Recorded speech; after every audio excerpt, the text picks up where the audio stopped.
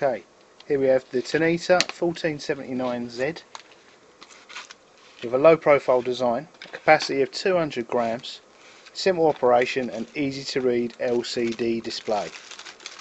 A tare and net weighing as standard, a low battery warning, energy saving auto off function and runs on one CR2032 battery which is included.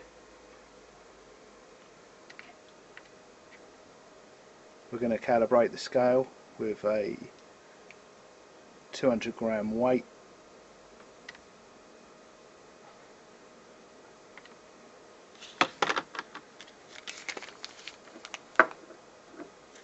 Okay.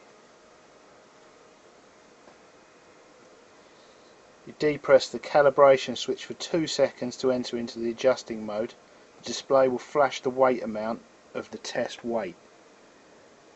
200 grams. So we place two 100 gram calibration weights on the pan.